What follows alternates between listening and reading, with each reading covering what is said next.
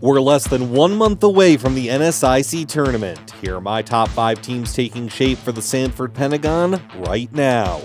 At number five, it's the debut of the Bemidji State men. The Beavers have won four of their last five, with the only loss coming in overtime. And kind of quietly, they've won 11 of their last 14 overall. They're in fourth place in the NSIC North Division, behind perennial favorites Northern State, MSU Moorhead, and Minnesota Duluth but with a veteran team that shoots the ball better than anyone in the conference, BSU has the chance to make some noise down the stretch. Coming in at number 4, the Minnesota State women. The Mavericks swept a weekend home series against SMSU in Sioux Falls and have won 5 in a row overall.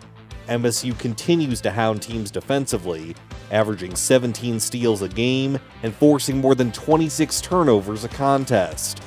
Combine that with the highest scoring offense in the league, and the Mavs are clearly rolling at the right time. At number 3, the Minnesota Duluth women, who've officially clinched the first playoff spot of the season.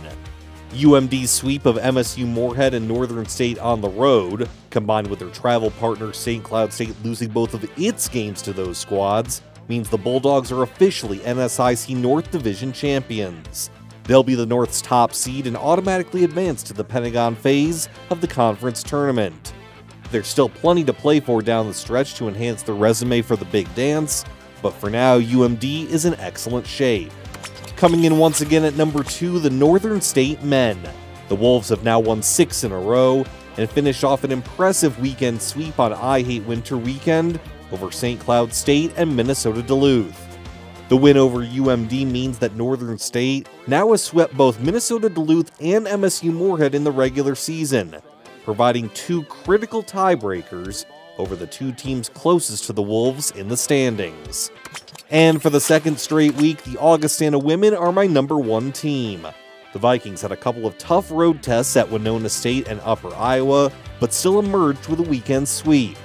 Ashlyn Duffy had a career high 35 points against the Peacocks, and Augie extended its winning streak to nine.